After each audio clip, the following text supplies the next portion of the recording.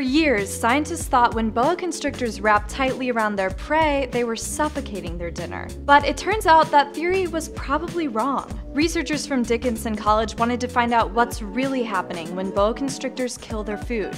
They discovered the snake is actually cutting off the animal's blood, not its air. National Geographic explains once blood flow ceases, organs with high metabolic rates, such as the brain, the liver, and the heart itself, begin to shut down. Doctors call this ischemia. Snakes call it lunch. And we believe that that's a valuable piece of information, something that's interesting to know just in general how snakes function, but also specifically to understand how those snakes evolved, how they came about, why they became so successful, why there are so many species today.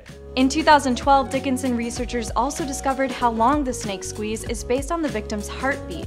The study involved putting rats to sleep and measuring their blood pressure as the constrictor squeezed them. The rats died, but the Institutional Animal Care and Use Committee reviewed the project to make sure they did not experience pain or suffer. This study's findings will be published in the August issue of the Journal of Experimental Experimental biology.